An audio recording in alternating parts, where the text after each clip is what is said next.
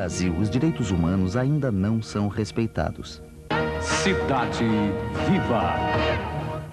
Na hora dos encargos, tu é cidadão. Na hora de fazer valer os direitos, tu é muitas vezes considerado anormal. Em Porto Alegre existem políticas e ações para garantir o respeito aos direitos humanos, respeito à igualdade e às diferenças. Eu acredito que realmente a felicidade vai ser o dia em que a gente tiver uma sociedade sem discriminação. A individualidade tem que ser respeitada, com certeza. E eu acho que Porto Alegre avança muito nisso, né? Para aprofundar a discussão e definir metas para enfrentar os problemas do respeito à cidadania, está se realizando a primeira Conferência Municipal de Direitos Humanos.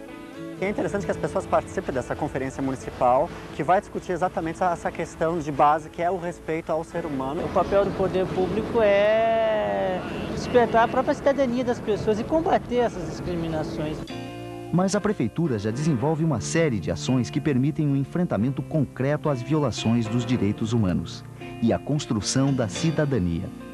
Uma das maiores conquistas é a conquista dos ônibus adaptados. A alteração de uma lei orgânica do município de Porto Alegre que a gente conseguiu acrescentar não discriminação por orientação sexual. Os rebaixamentos de calçadas e acesso principalmente aos órgãos públicos, né? Na cidade da participação popular, a busca pela igualdade não cessa, por direitos iguais para todos os cidadãos, de verdade. Eu fui num bar, né, tranquilamente, um cliente comum como qualquer pessoa que vai lá e paga e fui agredido até por fato de ser negro. Né?